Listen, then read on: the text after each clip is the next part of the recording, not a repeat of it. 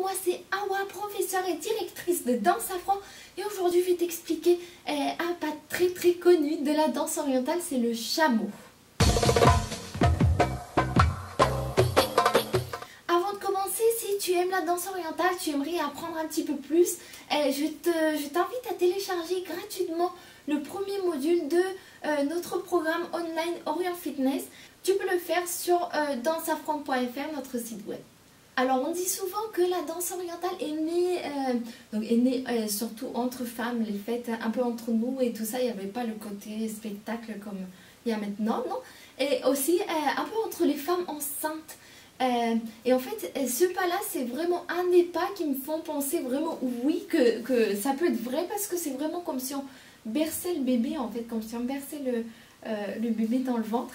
Donc on va l'apprendre tout de suite je te conseille de laisser les pieds à plat et en parallèle. Et du coup, euh, on va euh, reculer le bassin vers l'arrière. C'est-à-dire on a le poids euh, du corps plutôt, sur les talons que sur la pointe du pied. Et on est là, on va ressortir un petit peu les fesses. Pas beaucoup non plus pour pas se faire mal au lombaire, d'accord? Mais on n'est pas vraiment, vraiment contracté. Et de là, on va pousser le bassin vers l'avant. Là, on a le poids sur la pointe des, pieds. Euh, et une fois qu'on arrive au top, on va tac, contracter le bassin, c'est-à-dire rentrer le nombril. Et de là, on va pousser vers l'arrière.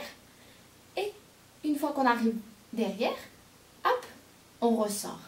Et vers l'avant, on rentre le nombril. Vers l'arrière, ressort. C'est important que euh, tu fasses le changement seulement aux extrêmes, pas vraiment pendant le parcours du bassin. D'accord? Donc après on arrondit et du coup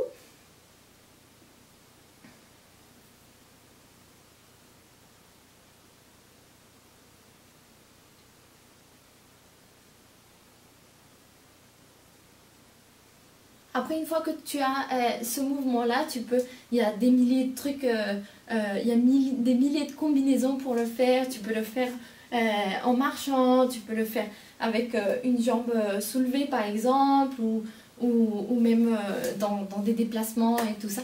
On verra ça petit à petit. Voilà Safranette, et tu sais qu'on se retrouve ici tous les jeudis et tous les dimanches pour une nouvelle vidéo donc sur Danse Safran sur, sur YouTube. Et donc voilà, si tu n'es pas encore abonné à la chaîne, je t'invite à le faire. Tu peux le faire ici en bas. Et je te dis à très bientôt.